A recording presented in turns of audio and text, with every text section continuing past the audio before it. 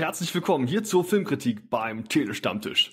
Heute, da geht's um was Feuchtes, heute geht's um Wasser, heute geht's um The Shape of Water. Und ähm, das ist das erste Mal, dass ich ähm, hier einen Gast bei uns bei der Filmkritik begrüßen kann. Moin Matze. Hallo. Der Matze, das ist jemand, der ähm, macht ein Projekt im Netz, das ich kennengelernt habe als Matzes Kinowoche. Und das sind mal extrem fluffige Filmkritiken. Ähm, vielleicht magst du uns mal die Matzes, magst du uns deine, deine Kinowoche mal kurz vorstellen. Was ist das denn? Äh, ja, das ist einfach nur Podcast, wie das halt nur mal so ist bei uns in der Filterbubble, ähm, läuft unter dem Banner, sag ich mal, der Welle Nerdpool, wo wir unsere Themencasts machen. Und ja, ich, ich dadurch, dass ich nun mal sehr häufig im Kino bin und auch Pressevorführungen besuche, hatte ich irgendwann mal das Bedürfnis, das Ganze auch in Audioform zu gießen und daraus ist dann die Kinowoche entstanden und ja, einmal in der Woche dann die so gut wie es geht die aktuellen Starts besprechen, das, was ich dann vielleicht in den Wochen vorher verpasst habe. Ja, und das seit nunmehr fast 100 Folgen. Krass, also das große Jubiläum steht an. Ja. Magst du uns schon verraten, was für, für Special geplant ist? Ähm, ich, also es will, es will, ich habe ja jede zehnte Folge habe ich so ein bisschen ein Metathema, Mhm. ähm, das mit Gästen und ähm, für die hundertste Folge habe ich mir halt was, was sehr sehr Feines ausgedacht mit unfassbar vielen Gastbeiträgen und äh, ja und ähm, es war eine sehr lustige Aufnahme, das kann ich schon mal sagen und äh, allzu viel spoilen möchte ich aber noch nicht, weil ich habe mir selbst auf die Schulter geklopft, als mir die Idee gekommen ist. Deswegen, ich, bin- ich, ich, ich freue mich auf, äh, auf das Feedback. Ich bin sehr gespannt. Ja, mega. Also Leute, hört auf jeden Fall mal rein. Der Mann hat echt Ahnung. Der tut nicht nur so wie manch anderer hier, sondern hat durchaus Plan von den Filmen, die er da geguckt hat. Und er kriegt immer einfach ganz tolle Zusammenhänge erzählt. Das ist auch sehr kompakt. Man muss sich hier keine, nicht wie bei uns stundenlang über äh, Star Wars unterhalten, sondern man kriegt da so einen kompakten Eindruck. Also kann ich wirklich sehr empfehlen. Hört da auf jeden Fall mal rein. Ja, für die längeren Casts bin ich immer nur woanders zu Gast. Oh, hallo. Oh, hallo heißt der Podcast? Nein, nein, nein, das war jetzt einfach nur so, weil, so. ich, äh, weil ich hier zu Gast bin. Und ich bin sehr gespannt, wie lange, wie lange das jetzt wird hier. Ähm, ja, wir halten uns gewohnt kurz und ähm, heute, da geht's, soll es um diesen Film gehen, The Shape of Water, beziehungsweise ohne The, ich glaube nur Shape of Water und Genau. trägt den fantastischen deutschen Untertitel Das Flüstern des Wassers. Kommt am 15. Februar 2018 in die deutschen Kinos und ähm, hat für ordentlich Wellen, hat ordentlich Wellen geschlagen. Merkst du? Merkst du? Ja, mal, äh, ziehen wir das wirklich durch mit den ganzen, Nee, mit den ganzen Punts? nee, aber fand ich trotzdem lustig. Ist in Ordnung. Ähm, ja, ähm, der, der Film war jetzt schon auf dem einen oder anderen auch Filmfestival zu sehen. Vielleicht sollten wir kurz mal die Handlung zusammenfassen. Ähm, magst du das übernehmen? Äh, ja, gerne. Ähm, die Handlung äh, Shape of Water, es geht um eine, ähm, ja, jetzt habe ich nur das Englische von dem Kopf, Janitor. Ähm, Reinigungskraft. Äh, ja, Reinigungskraft in einem äh, geheimen Forschungslabor der Regierung, so zumindest sieht das alles aus, ähm, gespielt von Sally Hawkins. Ähm, die Dame heißt Elisa, äh, Elisa und ähm, was halt bei ihr durchaus ähm, wichtig ist, sie ist stumm. Und ähm, ja, die zusammen mit ihrer Freundin Zelda, gespielt von Octavia Spencer, sind die da halt am Putzen und ähm, eines Tages kommt ein, äh, ja, ein, wird ein, ein Wesen eingeliefert, was untersucht werden soll. Ähm, das Wesen bringt nie den richtigen Namen, äh, allerdings da schon mal das erste, wo ich das gehört habe, ist mein Herz ein bisschen aufgegangen. Ähm, es wird verkörpert von Doug Jones, den ich äh, aus den Hellboy-Filmen absolut lieben gelernt habe, der auch das einzig Gute an diesem grauenhaften Bye-Bye-Man war. Ähm, und äh, nicht nur dieser, dieser, dieser, äh, dieses Wasserwesen wird da angeliefert, sondern auch ein neuer, äh, ja, Sicherheitschef, sozusagen, Richard Strickland, gespielt von Michael Shannon. Und Elisa ist von diesem Wasserwesen doch sehr, ja, fasziniert und irgendwie kommen die sich näher. Und ähm, ja, das sollte es, glaube ich, erstmal gewesen sein, weil ich finde, auch wenn es relativ klar ist, in welche Richtung der Film äh, geht, ähm, fand ich doch die, die Richtung, die der Film eingeschlagen hat, immer sehr, sehr spannend und interessant. Ja, ähm, ist, ähm, das ist äh, so eine recht geradlinige Story, würde ich auch sagen. Ist also so, dass du quasi, wie du schon sagst, so ein bisschen was, wer sich im Genre auskennt und so ein, eine gewisse Erwartungshaltung, das wird durchaus befriedigt, würde ich jetzt mal sagen, mit der Handlung. Da ist jetzt nichts dabei. Ähm, also wird nicht plötzlich ein Mittelalter-Fantasy-Film, äh, Fantasy-Fest. Das ist schon, schon ähm, erwartbar. Was man auch, was der Trailer auch verspricht, kann man sagen, ist auch ziemlich genau das, was man auch den ganzen Film über erwarten kann. Ja, das ist, ist halt ähm, kein ich finde, der Toro hat außer vielleicht bei Pan's Labyrinth halt bisher immer sehr geradlinige Filme gemacht. Also das, äh, das kommt da auch, also ist Shape of Water auch wieder. Genau.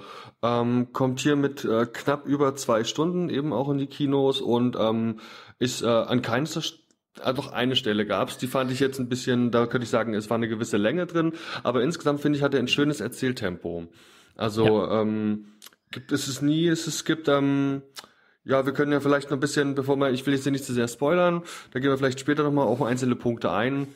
Und vor allem müssen wir uns auch natürlich mal über den Cast unterhalten, der hier ähm, ja auch nicht zu Unrecht einige Nominierungen und auch teilweise schon Auszeichnungen jetzt hier in der Award Season bekommen hat. Mhm. Ist, äh, ähm, also bei den Globes hat er ja durchaus was abgekriegt und jetzt eben auch aktuell dann Nominierung für die Oscars. 13 Stück ist halt, äh, ich bin gespannt, ob er davon was mitnimmt, weil äh, das, ich finde die Oscars dieses Jahr unfassbar stark umkämpft. Mhm. Äh, also ich bin sehr gespannt auf die, auf die Preise. Und er stritt eben auch gegen wirklich krasse Konkurrenten dann. Also mein, einer meiner Lieblingsfilme dieses Jahr, beziehungsweise eigentlich eher letzten Jahr, wo ich ja letztes Jahr gesehen habe, ist eben auch dieser Three Billboards Outside Ebbing, Missouri. Und ähm, ich finde, da hat er so einen starken Konkurrenten, der auch wirklich viel richtig und viel gut gemacht hat. Um, Wenn ähm, nicht sogar alles gefühlt. Mh, also genau. es ist schon, ist schon ein ganz, ganz starkes Stück Kino. Und da ist hier also, wenn man so will, ähm, einer von, von der Hauptcharakteren, also wenn nicht gerade der Hauptcharakter selbst, ist eben ähm, diese ähm, von Sally Hawkins gespielte Elijah Esposito, heißt die gute mhm. Frau. Und ähm, was muss man der wissen? Also sie ist stumm. Das ist, glaube ich, ähm, das, was ähm, auch sofort auffällt. Sie spricht also natürlich dann zwangsläufig auch den kompletten Film über kein Wort. Ähm, warum das so ist, gut, ist eigentlich eher ein trauriger Grund, warum das so ist, das müssen wir gar nicht groß verraten, aber Fakt ist halt, sie ist stumm und das wiederum ähm, gibt dem Film natürlich eine interessante Facette und ist natürlich auch eine Herausforderung für eine Schauspielerin, wenn du versuchen ja. musst, die kompletten Emotionen halt wirklich ohne Sprache darzustellen.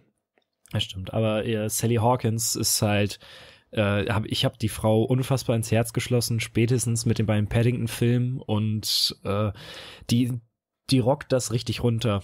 Also äh, es gibt da diese, diese eine Szene mit ihrem Nachbarn, Giles, ähm, und ich, ich, äh, wo sie halt so eine Art Streitgespräch haben und wie Sally Hawkins da am äh, Gebärden ist, das ist unfassbar. Also das ist wirklich ganz, ganz, ganz, ganz großes Schauspielkino, was die Dame da abliefert. Das ist echt fett. Das ist krass, wie sie mit dieser, mit der ihrer Gestik Wut darstellt. Ne? Also das ist wirklich, wie du sagst, Streitgespräch, das ist wirklich gut und glaubhaft auch. Ähm, beeindruckend. Ja. Ähm, und ich, ich bin ja aber auch immer noch großer Fan von Michael Shannon in dem Film. ja, äh, natürlich, also ähm, insgeheim bin ich ja kleiner Superhelden-Fan, deswegen ist mir Michael Shannon durchaus ein Begriff. Ähm, was hat er, also was, was an seiner Performance hat dir denn gefallen?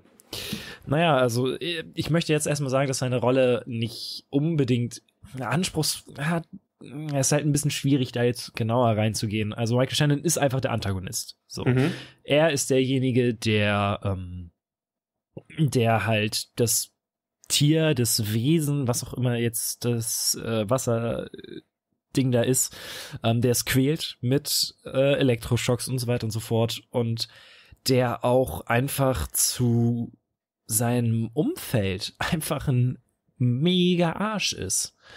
Und äh, ich finde es sehr, sehr spannend, wie der Film ähm, eine Dualität aufbaut zwischen halt Strickland und einem Forscher, der mehr ist, als es am Anfang scheint. Man muss auch dazu sagen, ist, der Film spielt nicht in der Gegenwart, sondern zur Zeit des Kalten Krieges, mhm. was durchaus ähm, was durchaus von Bedeutung ist an manchen Stellen.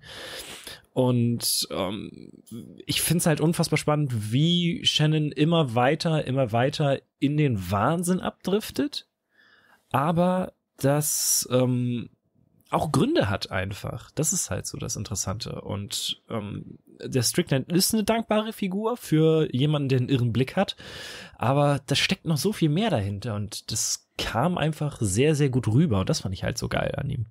Fandest du denn, dass seine Motivation angemessen dargestellt worden ist? Also gerade warum er das macht? Also speziell eben, er hat so ein bisschen ja auch einen inneren Drang, seine Ziele zu erfüllen, welche auch immer das sein mögen. Findest du, dass, dass diese Motivation gut dargestellt ist oder überhaupt rauskommt? Ja, vor allen Dingen ähm, in einem Gespräch gegen Ende des Films im letzten, im letzten Drittel, ähm, finde ich, hat es, ist es halt sehr, sehr deutlich geworden, was, ähm, was ihn antreibt. Und ähm, es, wie gesagt, diese Dualität zu dem Wissenschaftler, äh, das kann man ja ruhig mal sagen. Ähm, die Figur von Strickland ist halt, wirft irgendwann alle moralischen Bedenken über Bord. Und ab da geht's halt nur noch bergab und das ist halt das, äh, weil, weil er sich beweisen möchte, weil er Anerkennung möchte. Und das ist halt das Interessante. Ja, also er ist so ein bisschen, ähm, er ist Teil, Teil der Militärstruktur eben auch, die da in diesem, ähm, in diesem Geheimlabor, wo dann verschiedenste Sachen sind. Da ist also nicht nur das aus dem Trailer bekannte Monster, das sind auch, da wird wahrscheinlich auch Technik getestet oder mhm. eben geforscht, experimentiert. Also es geht so generell um so ein Forschungsentwicklungslabor, das aber eben von ja äh, Kalter Krieg eben. Ich glaube, ich habe was gelesen. Der Film spielt circa 1963, also ungefähr so die Zeit muss man das einordnen. Und ähm, er ist eben Teil dieser, dieser Struktur, hat dann natürlich nicht nur eine Befehlsgewalt über einzelne Leute, sondern eben auch selbst wiederum Leute, die ihn da ganz genau begutachten und natürlich auch Ergebnisse sehen wollen. Und ja, und das ist aber auch, dass er sein, sein, sein, sieht man ja auch in einer sehr frühen Szene, sein, ich sag mal, seinen gebieterischen Trieb ja nicht nur bei der Arbeit auslebt. Eine sehr eklige Szene, aber mein Gott. Ja, und durchaus auch, äh, sagen wir mal, mit dem, also das, das Frauenbild der damaligen Zeit porträtiert und auch thematisiert. Ähm, gibt eigentlich ja. keinen geileren als ihn, ne? das ist, das ist nämlich das, das unfassbar Interessante, dass ähm, die, die Männerfiguren in, also vor allen Dingen Shannon oder halt dieses, dieses ganze typische Patriarchat unfassbar ätzend ist und du hast dann aber Figuren wie Elisa, die nun mal stumm ist. Wir haben äh, mit ähm, Zelda von Octavia Spencer halt gespielt, eine farbige dabei. Und äh, wir haben Giles, den Nachbar, der halt sehr offensichtlich schwul ist. Und ähm, die versuchen halt alle drei, alle diese Figuren versuchen halt in der Welt, in der sie leben, irgendwie klarzukommen oder sich anzupassen an die normalen gesellschaftlichen Strukturen und ähm, daran scheitern sie. Vor allen Giles ist halt, der äh, geht daran fast zugrunde. Und ab dem Moment, wo sie sagen, nein, wir nehmen das nicht hin, sondern wir möchten jetzt dieses Anderssein, äh, das möchten wir jetzt einfach, ab da blühen ja die Figuren erst so richtig auf. Und äh, das ist, fand ich ein unfassbar spannendes Thema und erstaunlich aktuell. Ja, da sie jeweils dann ja auch, ähm, wie du sie jetzt eigentlich auch alle genannt hattest, ja quasi auch Minderheiten repräsentieren, beziehungsweise unterdrückte Minderheiten in irgendeinem Zusammenhang, eben, äh, keine Ahnung, Homosexualität, ähm, eine andere Hautfarbe oder eben auch, dass sie halt stumm sind und damit dann ein Stück weit ja eben auch eine Behinderung haben. Ähm, dann sind sie natürlich immer, also es ist auch ein Aufbäumen der Minderheiten dann äh, da ein Stück mhm. weit Thema im Film. Ähm, genau, dann wird der Cast noch abgerundet. Ich weiß nicht, einen würde ich eigentlich nur erwähnen, weil ich ihn halt bei, damals bei Stargate Atlantis so cool fand. David äh, Hewlett spielt hier einen ähm, ja, Professor und einen Doktor namens Fleming. Ähm, hat da auch eine ah. etwas größere Rolle. Fand der, daher cool. kannte ich den tatsächlich. Genau. Und den Dings, den äh, Doug Jones, der das Amphibienwesen ähm, spielt, dessen Gesicht man nie sieht. Also er ist konsequent äh, in diesem Masken, diesem in der Maske zu sehen. Äh, den kennt man vor allem, aber auch da kennt man sein Gesicht nicht. Aktuell bei Star Trek Discovery. Da hat er auch eine oh. wichtige tragende Rolle. Ach, schau an. Ja, ja, Ich, ich mag den, wie gesagt, ich mag den unfassbar gerne. Also, ähm, ich hatte ja, also ich hatte, als ich den das erste Mal den Trailer zu Shape of Water gesehen hat, hatte ich ein bisschen das Gefühl, äh, kriegen wir jetzt hier das Prequel zu Hellboy 1. ja. Weil ähm, das Wesen sieht halt aus wie Ape Sapien und ähm, Doug, den hat Doug Jones halt auch schon gespielt und das halt auch kongenial. Also ähm, der Mann kann unter der Maske unfassbar viel. Das ist dann der Stab. Wir haben natürlich noch eine ganze Menge andere Leute dabei, aber ich würde sagen, das sind so die wichtigsten, würde ich, würd ja. ich jetzt mal unterstellen. Das sind diejenigen, die man braucht, um so ein, äh, ja, um sich ein Bild machen zu können. Und äh, meine erste Reaktion war, als ich aus dem Kino rauskam, Mensch, was ein geiles Märchen. Ähm, weil es wirklich, ähm, gut, wir haben ein Monster, ja, ein Monster haben wir beim Märchen auch oft. Wir haben auch so ein ganz dunkles, also es ist ja ein, ein generell, ist kein heller Film, ganz im Gegenteil, es spielt viel bei Nacht, es regnet viel, ähm, Wasser generell spielt äh, in vielen Sets eine große, wichtige Rolle. Ähm, und er ist aber auch so ein bisschen romantisch verklärt an vielen Stellen. Und ähm, so war mein erster Eindruck, Mensch, eigentlich klasse Märchen. Ähm, ist das eine Sache, die du auch so, die du nachvollziehen würdest oder auch so siehst? Ja, also ich habe ähm, ganz, ganz starke Pan's Labyrinth-Vibes bekommen, was ja ein, auch ein sehr, sehr grausames Märchen ist in dem Sinne. Ähm, und auch wenn die Farbpalette eher düster ist, vor allen Dingen, ich finde halt das Labor, obwohl es sehr sauber ist, wirkt irgendwie immer so ein bisschen dreckig. Mhm. Ähm, aber es ist halt nie irgendwie jetzt so, so depressiv irgendwie von der Stimmung her, sondern es ist immer sehr leicht, sehr locker und ähm, vor allen Dingen durch den fantastischen Soundtrack. Mhm. Ähm, und ja, das, das fügt, das fügt halt zu diesem, zu diesem leicht märchenhaften sich einfach sehr, sehr gut zusammen. Ich hatte irgendwann mal gelesen, es ist im Grunde genommen, als ob man Bioshock mit Amelie gekreuzt hätte und äh, ich finde, das beschreibt das eigentlich ganz gut. Aber wirklich, ja. Gerade die Hauptdarsteller, das ist ein sehr guter Vergleich sogar. ähm, generell finde ich die ähm, Settings auch erwähnenswert, also so Sets und eben auch Kostüme. Ähm, die Zeit ist sehr gut eingefangen. Wir haben also, ich, also die beiden wichtigsten Sets, da denke ich, verrät man noch nicht zu viel, sind natürlich eben dieses Labor. Mhm. Ähm, da gibt's, das, das gibt, da, überall gibt's Schrauben, überall gibt's große Räder an Wänden, durch die wahrscheinlich Gas, also an, wahrscheinlich an Gasleitungen, die gedreht werden können. Ähm, alles sehr kalt und rough. Also es gefällt mir irgendwie sau gut. Und dann eben natürlich auch noch die, ähm, auch schon glaube ich aus dem Trailer bekannte äh, Wohnung von der Protagonistin, die natürlich mm. voller voller, äh, also das Sofa ist, ist einfach geil, das ist zeitgemäß, die Stühle, generell das Interieur auch von, von, von der Wohnung ihres Nachbarn gefällt mir auch großartig und will ich positiv erwähnt wissen. Das ist halt das auch das, was letzten Endes ja hier seinen vorherigen Crimson Peak noch so ein bisschen rausgerettet hat, war einfach das Product Design. Also das kann Del Toro einfach, beziehungsweise wenn Del Toro einen Film macht, dann sehen die mega gut aus. Und ähm, eine Sache, die ich relativ wichtig finde, nochmal zu erwähnen, ähm, äh, vielleicht ist das auch einer der Gründe, warum er bei den Oscars so häufig nominiert war. Er ist sehr nostalgisch. Also, wenn ich an die Szenen denke, wenn Elisa und Jai jetzt zusammen Fernsehen gucken und anfangen zu steppen, ähm, äh, es ist schon ein bisschen nicht merkwürdig, weil es passt zu den Figuren, aber äh, irgendwie komisch doch in dem Sinne. Ja, ist halt aber auch gleichzeitig sehr liebenswürdig. Gerade das Tanzen, es gibt eine Szene, da tanzt sie sich über den Flur in ihre Wohnung und freut sich, dass sie leben da. Und eigentlich, die sind die, die Hauptdarstellerin, also die ist, Eliza ist so von, im Grund auf ist die eigentlich ganz zufrieden mit ihrem einfachen kleinen Leben, das mhm. natürlich einen, von ihrem Alltag vor allem bestimmt wird und wie ihren Alltag lernen wir äh, kennen und ähm, wir wissen, wie viel Zeit sie zum Baden und Duschen braucht und äh, was sie dann sonst noch so in der Badewanne die Eier, macht. Die Eieruhr. Ja, genau. Ähm, aber das ist eine glückliche Frau, die äh, mit ihrem Leben ähm, das sicherlich nicht äh, sonderlich äh, ausschweifend ist, trotzdem sehr zufrieden ist und da dann ja auch ähm, ja so ein bisschen vielleicht auch das Abenteuer sucht in der Bekanntschaft zu diesem Amphibienwesen. Hm. Genau. Ähm, hm. Dann gibt es ähm, es gibt verschiedene Szenen, die ähm, ich jetzt, also die will ich jetzt nicht so spoilern, aber es gibt durchaus Szenen, die sich vom gesamt restlichen Film abheben, einfach durch ihre optische Darstellung. Ja, und die sind teilweise ein bisschen ähm, Ah, das ist, das ist merkwürdig. Ähm, auch wenn wir jetzt vielleicht, nennen wir sie mal Traumszenen. Das sind keine mhm. Traumszenen, mhm. aber nennen wir sie mal Traumszenen. Mhm. Haben die, ähm, da fallen mir zwei ein, eine eher so gegen Ende und eine eher so ähm, noch so äh, vielleicht am Anfang des zweiten Drittels. Ähm, haben die dich rausgerissen oder findest du, dass die sich stimmig einfügen ins Gesamtbild? Ich muss gerade mal an die zweite überlegen, weil das eine, ähm, sei einfach nur weißes Kleid, das sollte ja eigentlich klar sein. Dann. Ja, ja. Äh, die fand ich eigentlich sehr, sehr passend, einfach um eine, eine Innenansicht der Figur mal zu bekommen.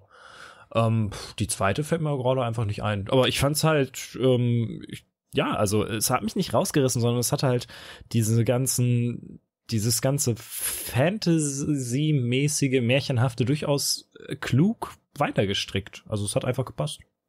Ja, das war genau, diese, diese Szene, die du jetzt meinst, die würde ich als die zweite Szene bezeichnen. Und ich finde, die hat auch einen ganz tollen Effekt, weil sie, ähm, die da fragt so ein bisschen auch dieses Monster. Also ich sage jetzt Monster, aber es ist ja eher Amphibienwesen. Ne? Ähm, und zwar habe ich mich gefragt, dieses also es, nennen wir es mal Wesen. Ich will nicht sagen, ob Tier oder was anderes oder was auch immer es ist, nennen wir es mal Wesen. Ich frage mich immer, wie intelligent ist dieses Wesen? Es hat ja nun wirklich auch sehr animalische Triebe und gibt, Oh, diesen, ja. gibt diesen auch mal nach. Es ist andererseits aber auch sehr einfühlsam und scheint auch lernfähig zu sein. Es ist sogar in der Lage zu kommunizieren und auch noch weitere Dinge zu tun. Ich habe bis zum Schluss nicht verstanden, ja, wie smart ist dieses Wesen eigentlich? Naja, aber musst du das unbedingt verstehen? Weil ich fand, das war jetzt nicht unbedingt wichtig für die, die Geschichte, sondern es geht ja vor allen Dingen darum, wie, es geht ja um Gefühlswelten. Mhm. Das ist ja eher das, was wichtig ist. Und es wird ja auch gesagt, äh, dass, äh, dass es im Amazonas einfach als Gott auch angesehen wurde. Und ja, also es hat halt animalische Züge, aber mein Gott, es haben die Menschen nun mal auch. Das stimmt. ja. Und das ist halt, da ist halt die Frage auch wieder, es ist sehr, sehr fies, was da so passiert. Aber äh, ich sag's mal so, es gibt Menschen in dem Film, die sind schlimmer. Ja, durchaus. Mm, sehr viel schlimmer sogar. ähm, wer, Ah, ich muss, ah, ich muss nur an die, ah, ah, an die Wange. Uah. ja, ja, ja. oh Gott. Ja, Ja, guckt ihn halt- euch an. guckt ihn euch an. Es, es ist halt, äh, Del Toro ist halt, äh, wenn er Bock drauf hat, ein bisschen Gewalt einzubringen, dann ist das auch immer sehr, sehr fies. Also es ist, ist schon ganz geil. Ja, ich hatte dann auch mal geguckt, die ähm, FSK-Freigabe haben wir inzwischen auch und ich glaube, die war relativ hoch. Ich glaube, der war ab 16. Das will ich- Ja, ne? würde ich, äh, drunter auf gar keinen Fall. Ja, genau, 16 auf jeden Fall. Und ähm, das ist schon angebracht, ja. Das ist schon, schon echt angebracht. Ähm, einen letzten Punkt habe ich mir hier noch notiert, ähm, der ähm, vielleicht so ein bisschen noch so zum, zum Nachdenken anregt, und zwar die Frage, wer ist hier in dem Film eigentlich das Monster? Das, ähm, das kann man natürlich auch diskutieren. Äh, ja, wer ist, äh, ist es eben das, das als offensichtlich erkennbare Monster, das Monster, oder ist es eben vielleicht doch jemand anders? Und ähm, wir haben ja schon gesagt, dass der Shannon den Antagonisten spielt. Und ähm, ja, also ich finde, bei ihm ist halt so, äh, dieser, dieser, der ist halt ganz schön böse. Ja, das hatten wir vorhin schon kurz angerissen. Und ähm, ja, ich frage mich halt, was definiert hier so das Monster? Also was ist im Film, wer ist das, das Monster? Und äh, ja, ich bin mir da nicht so, also klar, es ist, es ist, ist die Antwort klar, aber ist, ist er nicht irgendwie auch ein Stück weit so Teil, Teil einer Welt, in der halt auch Zwängen ausgesetzt ist und dann eben auch ähm, so handeln muss, wie er handelt. Ja? Also hat er überhaupt Das- eine Chance, das- anders zu handeln. Das meinte ich ja, das hatte ich ja am Anfang kurz ange, ange, angesprochen. Das ist halt genau das ist, dass du halt mit dem äh, Wissenschaftler einen hast, der in eine ähnliche Situation gerät wie äh, Strickland, sich aber ähm, sich aber, ich sag mal, moralisch richtig verhält und dementsprechend auch ähm, ja, er, er, er erfährt keine, äh, er wird jetzt nicht unbedingt positiv äh, aus dem Film geschrieben, aber man man hat einfach ein besseres Gefühl bei dieser Figur als halt bei Strickland. Und Strickland, es wird halt sehr, sehr klar, der ist ein Opfer seiner Umstände. Aber ähm, er hatte immer die Wahl.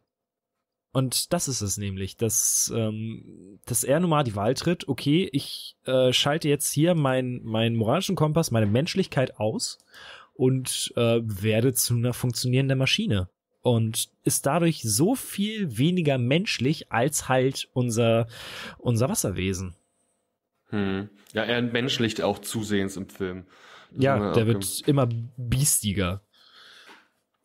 wirklich krass. Also ähm, mich hat das natürlich, so, ich mag, es liegt am Schauspieler, aber mich hat es natürlich ein Stück weit eben auch an seine Performance in Man of Steel erinnert, wo er den ähm, den Sort ja eben auch gibt. Also den den bösen bösen Typi, das kann er schon echt gut und sticht für mich ja wirklich also heraus aus dem Film, positiv heraus. Ähm, Jo, dann äh, haben wir jetzt natürlich noch die, die Oscars. Da bin ich gespannt, was er alles abkriegt an, an, an Preisen und ob er sich da ähm, gegen die Konkurrenz durchsetzen kann. Mhm. Okay, also ich denke mal, dass er ein oder zwei Preise so, äh, ich weiß jetzt gerade gar nicht, was bei Produktdesign und so noch nominiert ist, aber ich, ich würde es dem Soundtrack einfach gönnen, weil der ist wirklich toll. Ähm, ja, schauen wir mal. Bin gespannt. Ich weiß gar nicht so, wie du zu so Punktebewertungen stehst, aber wir versuchen am Ende immer so einen Richtwert zu geben, ähm, machen da irgendwas so zwischen 0 und 5 Punkten im Regelfall. Wenn Okay. du jetzt aus dem Bauch raus schießen müsstest, was für wie viele Punkte würdest du vergeben?